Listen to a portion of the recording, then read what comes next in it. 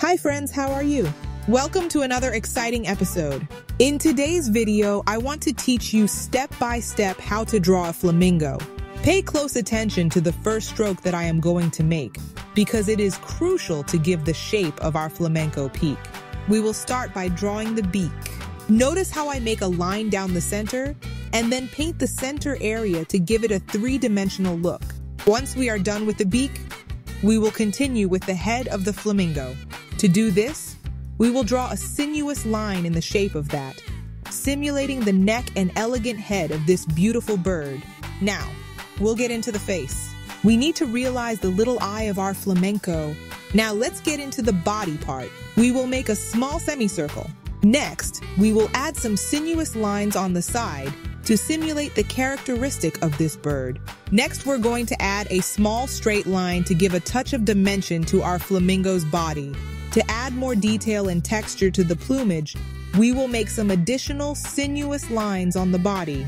Remember that you can pause the video as many times as you think necessary to achieve this beautiful flamenco. Now we will focus on the little legs of flamenco. We will draw four parallel straight lines with a small space between them to represent the long and elegant legs of this bird.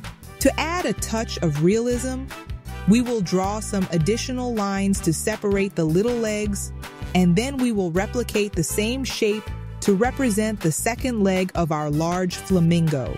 Finally, we're going to make the last part of our flamenco. We're going to make the last leg of our flamenco.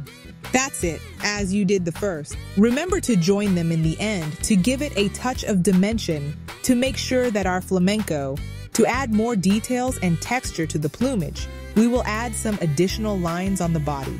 Remember that you can pause the video as many times as you think you need to get this beautiful flamenco.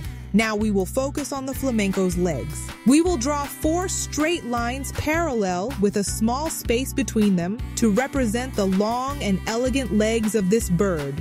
To add a touch of realism, we will draw some lines of additional joints to separate the legs. And then we will replicate the same shape to represent the second leg of our great flamingo.